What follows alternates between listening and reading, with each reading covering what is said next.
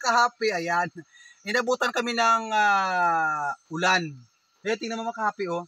Dito sa pinag ah, kunan ko ng ah, pinag-vlog, nag-vlog ako banda ron. Inabutan kami ng ulan. Dahil nasa tuktok kami ng bundok. Kaya nagpapahinga muna kami dito. Kaso lang hapon na kasi 4.30 na po ng hapon.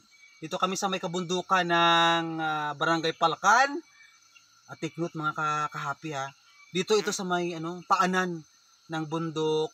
Ano to, Dong? Matutom. Ayan. Kasama ko siyempre ang aking pamangkin. Si Dodong. Ay, Mar, ano yan? Arnis ah, player yan. Ayan.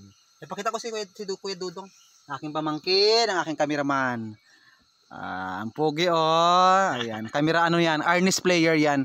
Ayan mga kahapi oh. Dito kami tumatambay muna kami at nagpapa papahupa kami ng ulan. Ayan, tingnan mo kasi mga kahapi. Ay, ito, ito, ito, pakita ko lang sa iyo ang aking dala. Aking bit-bit. Meron kaming dalang, ano, ano tawag dito, no? Lagaraw. Lagaraw. Ah, May lagaraw. Sa Yung aking ginamit ni Tansan. Nawig, galing Manila pa to. Nakarating pa ng Pulumulok, South Cotabato. At siyempre, ang, ang napakalaking, ano Durian. mga kape durian, oh. Alam mo ba ito, ito kape? Nasa limang kilo ito mga kape. Malaki.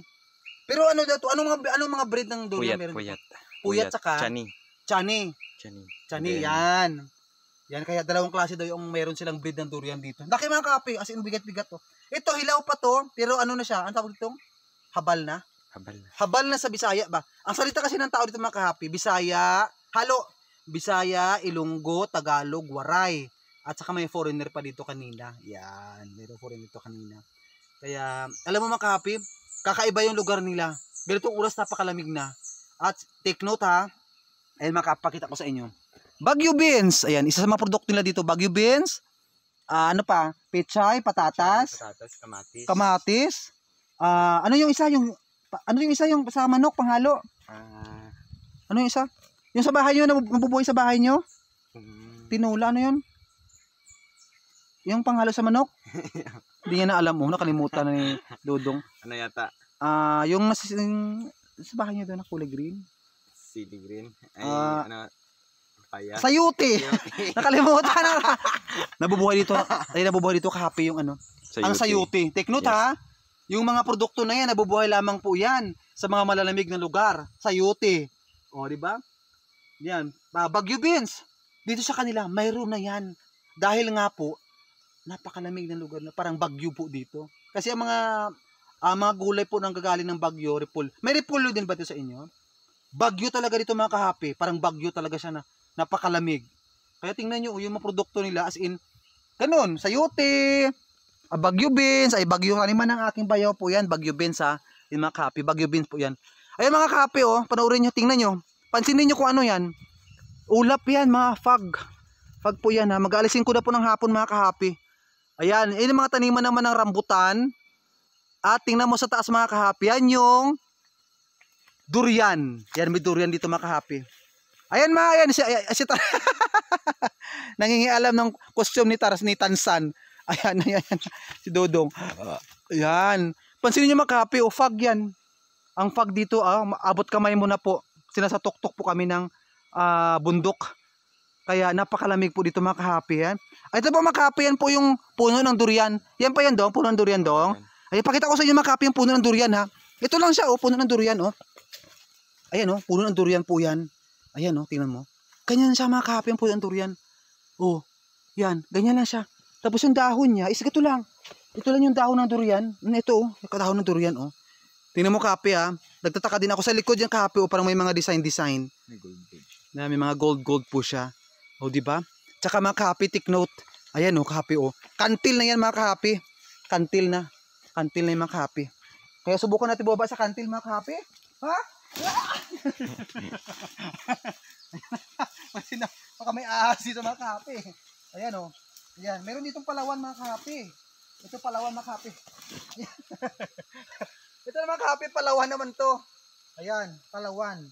Ano sa Bisaya? Karlang. Carlang. Car lang naman sa kanila to. Ayan. Ayan kape ha. Kantil to kantil. Kaya pag, nalag, pag nalaglag ka dito, pag nabulid-bulid jug ka, ay natay. Ting loko na. Ay makape ha. Okay. Ata, akit tayo makape. At, ah. Okay. Yun na lang makape. Dito tayo. Look at that. may langka dyan makahapi. May langka din sa dyan. Ayan, may langka. Ayan, may langka din sila dito. Ayan. Puno ng rambutan mga kahapi. Rambutan po yan kahapi ha. Puno ng rambutan naman po yan. Kaso lang kakatapos lang dong ng ano dito dong no. Harvest no. Ng rambutan. Kakatapos ng rambutan. Kaya wrong timing yung dating namin dahil ah wala nang bunga yung durian. Ay yung rambutan rather. Mayroon namang natitira. Ilang piraso na lang. Ilan na lang po kasi kakatapos lang sila mag harvest. Ayan. Kawayan. Oh, kawayan naman. Ayan. Ayan mga kapi. Tingnan nyo yung kawayan. Magandang gabi po. Ang gaganda ng kawayan mga kapi. At ang lalaki niyan. Ang lalaki ng puno niya. Parang wala pa. Parang hindi kinukunan niya mga kapi. Oh. Ang layabong, ang lalaki. At gulang na siya mga kapi. Take note. Ha? Gulang na siya. Kaya tingnan mo mga kapi. Ito, oh, tayo kain na to. Oh. Subukan natin kumapit ito mga kapi kung carry lang ba. Ah! Ay mga kapi. Ayan. Grabe mga kahapi. Uy, ang ganda ng place nila. Ganda lugar. Ayan, abot ko naman kamay kahapi ang mga pag. Ayan. Okay. Yan lang muna makapakahapi yung aking patikim. Pasilip. Ayan na po yung durian. Okay. Yan lang mga kahapi ha. At uh, uwi na ako kahapi. Hop. Hop. Tatambling ako. Subukan magtambling mga kahapi. Kung marunong pa ba ako tumambling ha. One, two. Kasi nung malit pa ako, taga marunong ako tumambling. Umi-split pa nga eh. One, two, three. Oh. 開けとけない。